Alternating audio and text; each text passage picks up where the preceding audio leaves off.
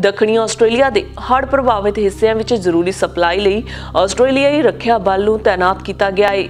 SA ਦੇ premier Steven martial ਨੇ ਐਤਵਾਰ ਨੂੰ ਘੋਸ਼ਣਾ ਕੀਤੀ ਹੈ ਕਿ ਏਡੀਐਫ ਰਾਜ ਦੇ ਉੱਤਰ ਵਿੱਚ ਕੂਬਰਪੇਡੀ ਸ਼ਹਿਰ ਵਿੱਚ ਸੋਮਵਾਰ ਨੂੰ ਮੌਸਮ ਸੰਬੰਧੀ ਭਵਿੱਖਬਾਣੀ ਤੋਂ ਪਹਿਲਾਂ 20 ਟਨ ਭੋਜਨ ਅਤੇ ਸਪਲਾਈ ਨਾਲ ਉਡਾਨ ਭਰੇਗਾ। ਮਾਰਸ਼ਲ ਨੇ ਦੱਸਿਆ ਕਿ ਅਸੀਂ ਆਸਟ੍ਰੇਲੀਅਨ ਡਿਫੈਂਸ ਫੋਰਸ ਵਿੱਚ ਆਪਣੇ ਦੋਸਤਾਂ ਦੇ ਬਹੁਤ ਧੰਨਵਾਦੀ ਹਾਂ ਜੋ ਦੱਖਣੀ ਆਸਟ੍ਰੇਲੀਆ ਦੀ ਮਦਦ ਕਰ ਰਹੇ ਨੇ। ਪਹਿਲਾਂ ਬੇਸ਼ੱਕ ਝਾੜੀਆਂ ਦੀ ਅੱਗ ਨੇ ਮੁਸ਼ਕਲਾਂ ਪੈਦਾ ਕੀਤੀਆਂ ਸਨ ਅਤੇ ਫਿਰ ਕਰੋਨਾ ਵਾਇਰਸ ਨੇ। ਮੌਸਮ ਵਿਗਿਆਨ ਬਿਊਰੋ ਨੇ ਐਸਏ ਦੇ ਉੱਤਰ ਦੇ ਕੁਝ ਹਿੱਸਿਆਂ ਵਿੱਚ ਅਗਲੇ 3 ਦਿਨਾਂ ਵਿੱਚ 200 ਮਿਲੀਅਨ ਤੱਕ ਮੀਂਹ ਪੈਣ ਦੀ ਚੇਤਾਵਨੀ ਦਿੱਤੀ ਹੈ ਅਤੇ ਇਹ ਮੰਗਲਵਾਰ ਨੂੰ ਇੱਕ ਪੂਰਵ ਅਨੁਮਾਨ ਸਿਖਰ ਦੇ ਨਾਲ ਸੰਭਾਵਿਤ ਤੌਰ ਤੇ ਰਾਜ ਦੇ ਬਾਕੀ ਹਿੱਸਿਆਂ ਤੋਂ ਦੂਰ ਦੁਰਾਡੇ ਸ਼ਹਿਰਾਂ ਨੂੰ ਕੱਟ ਸਕਦਾ ਹੈ ਇਹ ਆਊਟਬੈਂਕ ਵਿਸ਼ਾਲ ਖੇਤਰਾਂ ਦੇ ਨਾਲ ਆਉਂਦਾ ਹੈ, ਜੋ ਪਹਿਲਾਂ ਹੀ ਇੱਕ ਬੇਮਿਸਾਲ ਹੜ ਕਾਰਨ ਪਾਣੀ ਦੇ ਹੇਠਾਂ ਹੈ ਸਟੂਅਰਟ ਹਾਈਵੇ, ਜੋ ਰਾਜ ਦੀ ਰਾਜਧਾਨੀ ਐਡੀਲੇਡ ਅਤੇ ਉੱਤਰੀ ਖੇਤਰ ਵਿੱਚ ਕੂਬਰਪੇਡੀ ਸਮੇਤ ਐਸੇ ਦੇ ਦਰਜਨਾ ਕਸਬਿਆਂ ਨੂੰ ਜੋੜਦਾ ਹੈ। ਐਤਵਾਰ ਨੂੰ ਅੱਧਾ ਮੀਟਰ ਪਾਣੀ ਦੇ ਹੇਠਾਂ ਰਿਹਾ, ਜੋ ਕਿ ਮਹੱਤਵਪੂਰਨ ਮਾਲ ਰੇਲ ਪਟੜੀਆਂ ਨੂੰ